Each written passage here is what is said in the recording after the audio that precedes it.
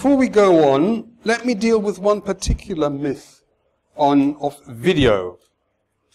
Video is expensive. Who thinks video is expensive? So few? Why don't you have videos on your website if you think it's so cheap? Right. Most people think video is expensive.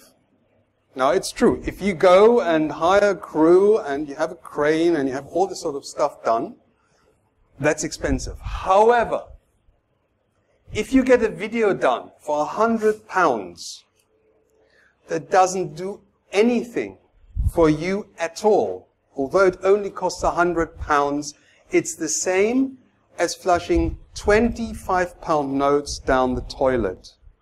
In my book, that is expensive.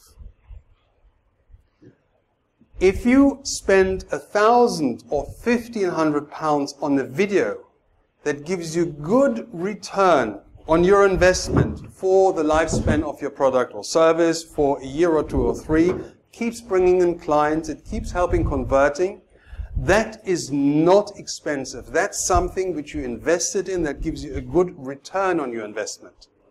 So the absolute price doesn't really matter.